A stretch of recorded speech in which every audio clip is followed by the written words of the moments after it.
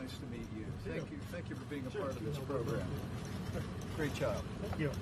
So you, you, uh, you went through the coronavirus? Yes, uh, my wife and I both had it in a very light, um, mild case. And When was that? It was uh, about a month ago. Yeah. And so we, I was, uh, you know, pretty much recovered after two days and felt great. And um, yeah, finally tested negative. We have, uh, we've only just begun to expand new platforms of testing around the country, and it'll be owing to the ingenuity, the creativity, and the expertise of the extraordinary men and women here at Mayo Clinic. Uh, grateful for uh, your words. We continue to social distance. We stand up the research around testing, around tracing, uh, around isolating.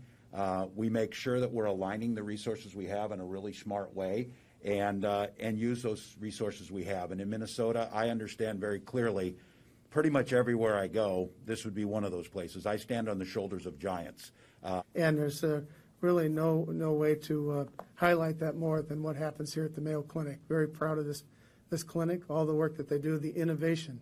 They're self-starters, and you saw today some of the incredible uh, technical work and research that they've done to help the American people.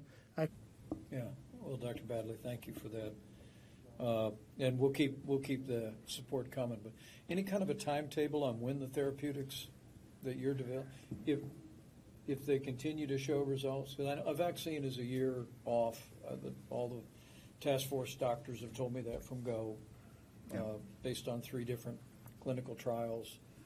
But therapeutics, we continue to hear, may be available this summer. Is that a possibility in any that you're I- working on? I think we will see results from phase two, which are early stage